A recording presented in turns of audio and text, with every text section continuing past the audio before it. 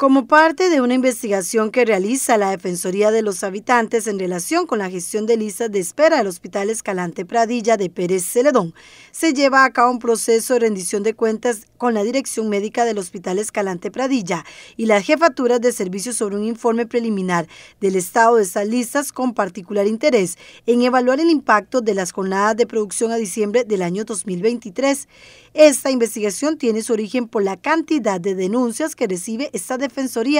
Así, de enero 2023 a enero 2024 se recibió un total de 417 quejas o consultas de pacientes de ese centro hospitalario, siendo el Hospital de la Caja Costarricense Seguro Social con la mayor cantidad de quejas ante la Defensoría se hizo un análisis de las jornadas de producción 2021-2023 para determinar cuál fue el impacto en las especialidades en las que se realizaron.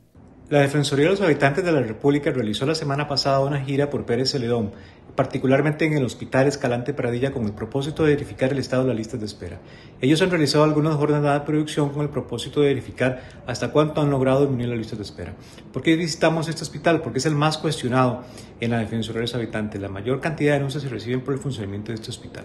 Hemos verificado que ha habido progresos en listas de espera en unos casos y en otros no hemos dado cuenta pues que ha habido nombramiento de nuevos especialistas, en otros casos no, es necesario un dermatólogo, es necesario un cardiólogo, es necesario un, nuevo equipamiento nuevo y también es necesario mejorar un poquito la infraestructura. Eh, también tuvimos la oportunidad de reunirnos con la sociedad civil, con las fuerzas eh, de la sociedad civil de Pérez Celedón, que son muy activas y muy dinámicas y nos hicieron planteamientos bastante interesantes.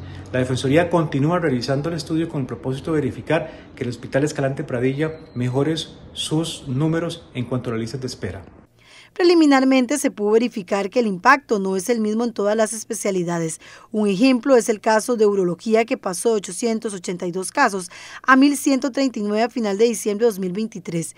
En el caso de ultrasonido ginecológico, se observa una disminución importante pasando de 938 a 428 casos. Situación similar se presenta con los días de espera, pues para ir a una cita en urología el tiempo aumentó en casi un 11%, mientras que para el ultrasonido ginecológico disminuyó en casi un 59%.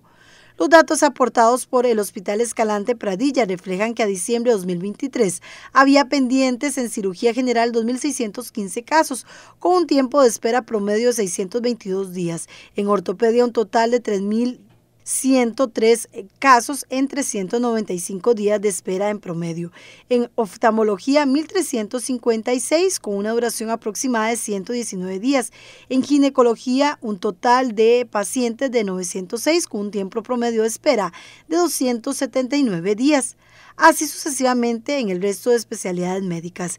En palabras del mismo informe, el Hospital Escalante Pradilla, en consulta externa, el plazo promedio de espera aumentó en 89.9 días. En procedimientos disminuyó en 10.2 días, mientras que cirugías aumentó en 45.7 días. La Defensoría estará evaluando los resultados al primer trimestre de 2024 para concluir el estudio.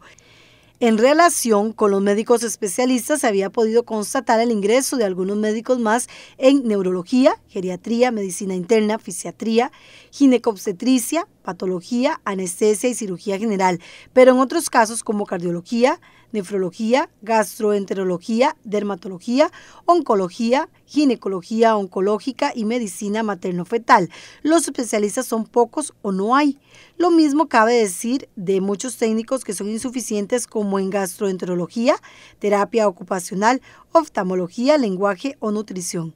Respecto al equipamiento del hospital es necesario un TAC nuevo de 128 cortes, cuya compra fue aprobada según las autoridades, pero además es necesario una incubadora de transporte neonatal, dos incubadoras abiertas para salas de expulsivos de sala de partos, un oxímetro de pulso neonatal, al menos dos camas más para sala de labor de partos y ocho bombas para nutrición parenteral, entre otro equipo del servicio de patología.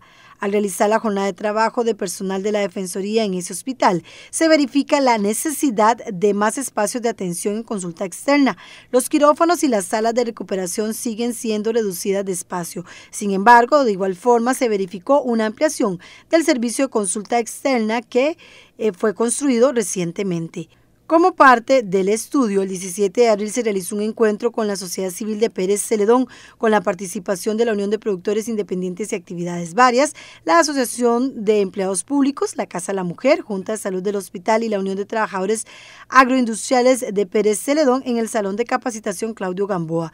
En este encuentro, la Defensoría expuso para validación un avance de la investigación en curso y se atendieron los aportes de estas agrupaciones en relación con sus preocupaciones por el estado de las listas de espera de este hospital y las posibles soluciones que estas agrupaciones pudiesen visualizar. Este proyecto de investigación aún no está concluido, pues es necesario solicitar más información a este hospital, así como a los centros de salud de la región Brunca de Servicios de Salud de la Caja, con el propósito de realizar una evaluación del impacto que causan estos centros de salud en las listas de espera de la Escalante Pradilla. Además, se tiene prevista la realización de una evaluación del estado de salud ocupacional del personal de este hospital mediante la realización de un grupo focal. Cabe indicar que a mediados de abril, TV Sur Noticias realizó precisamente una entrevista para hablar precisamente sobre el trabajo que está realizando la Dirección de Calidad de Vida de la Defensoría de los Habitantes con respecto a estas listas de espera.